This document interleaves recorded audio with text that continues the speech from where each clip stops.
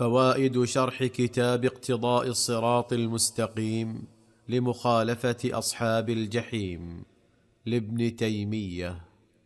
شيخ هل لنا أن نقول في قوله صلى الله عليه وسلم آه، إن الله قد كتب الحسنات وأنا نتكل فقال اعملوا أنه أنه ما علمنا بالقدر إلا من خبره صلى الله عليه وسلم فكما يجب التصديق بخبره يجب التصديق آه، الامتثال لأمره أنه هو الذي صلى الله عليه وسلم أخبر بالقدر وقد أمر بالعمل في قوله اعملوا.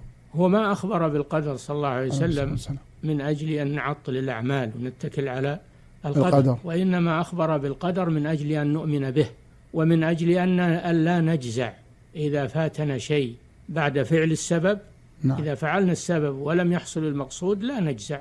ولهذا قال صلى الله عليه وسلم احرص على ما ينفعك واستعن بالله ولا تعجزن فإن أصابك شيء فلا تقل لو أني فعلت كذا لكان كذا وكذا ولكن قل قدر الله أو قدر الله وما شاء, وما شاء فعل فأنت عليك فعل السبب فقط. وأما القدر والقضاء فهذا من شأن الله سبحانه وتعالى لا تدخل فيه.